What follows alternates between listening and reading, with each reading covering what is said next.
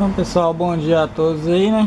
Vou fazer uns testes aqui com o classe D, o IRS 900, ele tá aqui embaixo. O mesmo dos, dos vídeos anteriores aí.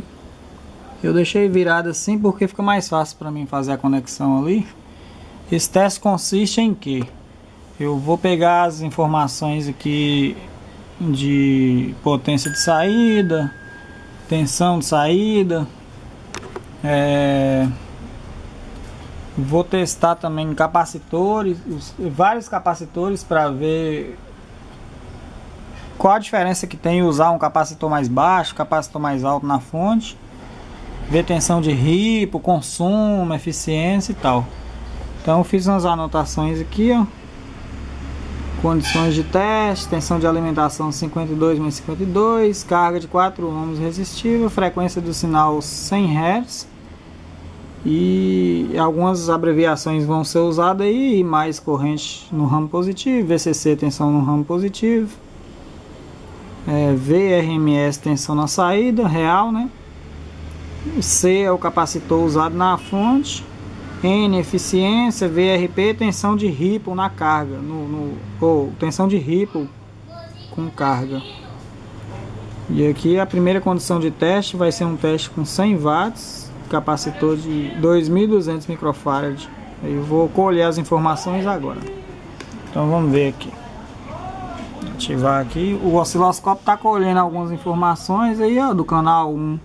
Tensão RMS na saída e valor de pico na saída. E no canal 2, tensão RMS é, de flutuação, né? De ripple na, na, no ramo positivo e tensão máxima e de pico também no, no, no ramo positivo. Só acertar aqui porque aqui não está de pico. Tensão pico. Pronto, agora sim. RMS máximo e pico no canal 2. A fonte é uma fonte generosa para esses testes aqui. Vai dar conta tranquilamente. Então eu tô com sinal de 100 Hz, vou aumentar aqui até chegar a 20 volts RMS ali.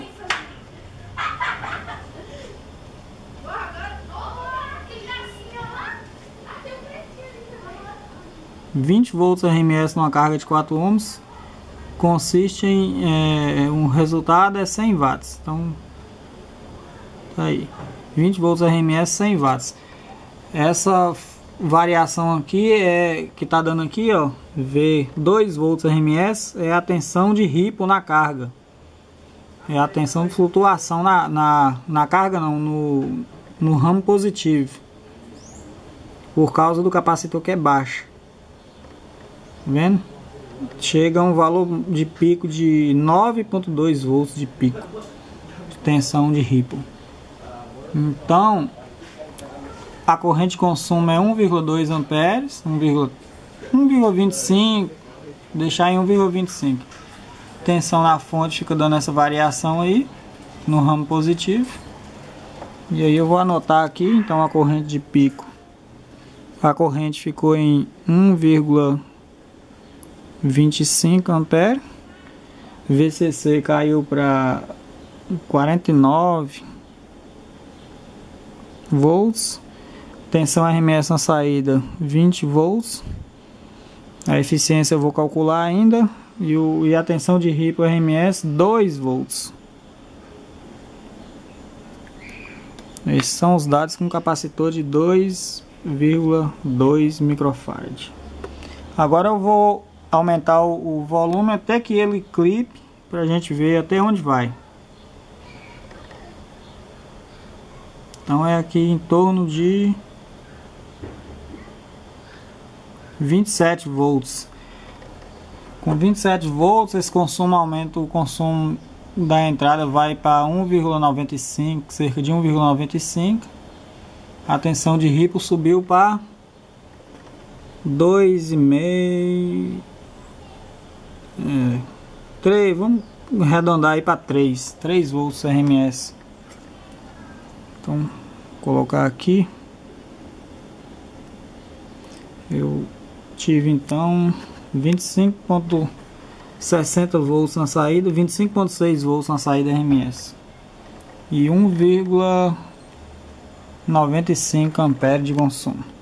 Então anotando aqui de novo. 1,95 ampere. VCC tinha caído para 48. VRMS 26.5 volts. A eficiência eu vou calcular. E a tensão de e a tensão de pico de pico no deu 3 volts é, de flutuação na carga aqui 3 volts agora eu vou fazer os, os cálculos aqui da eficiência e vou trocar também o capacitor. Agora eu vou aumentar o capacitor mais. O capacitor de 4.700 para a gente ver qual vai ser a real a diferença entre um e outro. Até já